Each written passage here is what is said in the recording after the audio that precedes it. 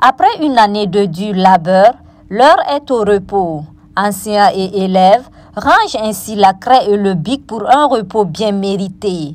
L'école groupe d'artillerie A, communément appelée l'école du camp, a décidé depuis huit ans maintenant de dédier la journée de clôture scolaire à l'excellence. Ainsi, pour clôturer l'année scolaire 2022-2023, elle a célébré cette journée de l'excellence ce vendredi 7 juin 2023 dans l'enceinte de l'établissement à travers des remises de prix aux plus méritants. Euh, cette cérémonie marque vraiment l'excellence de notre école que nous avons l'habitude de faire. Mais celle-là celle est particulière avec euh, la noce du départ de l'ancien directeur promu à l'inspectorat. Voilà. La cérémonie proprement dite, sincèrement, je suis très très contente. On ne s'attendait pas, on les invités ont répondu, les amis ont répondu, les partenaires ont répondu, les élèves ont répondu très comblé et c'est un souhait de bonnes vacances à tous et à toutes. Le lieutenant-colonel Wendiam Abdel Rachid Sawadogo, patron de la cérémonie, n'a pas manqué de saluer cette initiative ô combien important pour l'excellence à l'école. Il n'y a rien de tel que quand dans votre zone de responsabilité, vous avez une école qui donne de tels résultats. C'est un sentiment de, joie d'être vraiment au regard des résultats, mais également un petit un pincement au cœur parce que, comme vous l'avez si bien dit, il y a des écoles qui sont fermées. Et nous travaillons, je suis sûr que nous allons réussir, ces écoles vont réouvrir. On n'a pas le choix. Ces enfants doivent aller à l'école. Là où nous avons un fort déficit nous allons travailler et nous travaillons à ce que ces écoles réouvrent.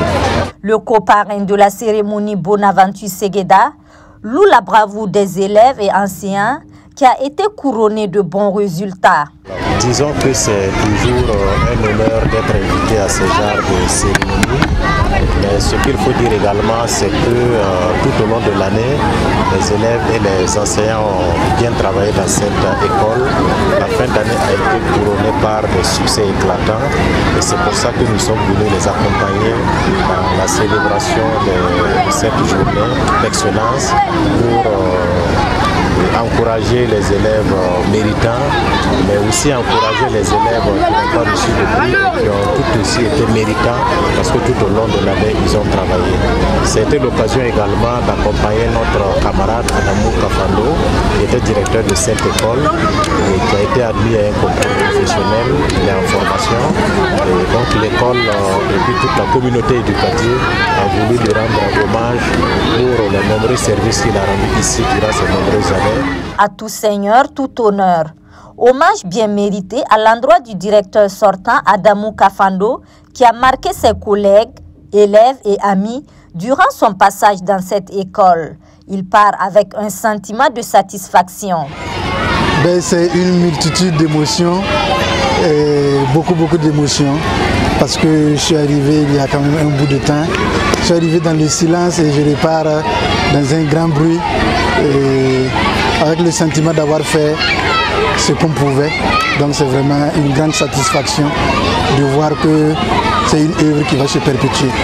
Vraiment, je suis très heureux. De 12 ans, je, je vais dire que nous avons ensemble travaillé à mettre l'école sur les grands chantiers de l'excellence. Nous avons eu des partenariats qui ont fait grandir l'école, qui ont fait connaître l'école un peu plus dans la ville de Ouagadougou et au-delà.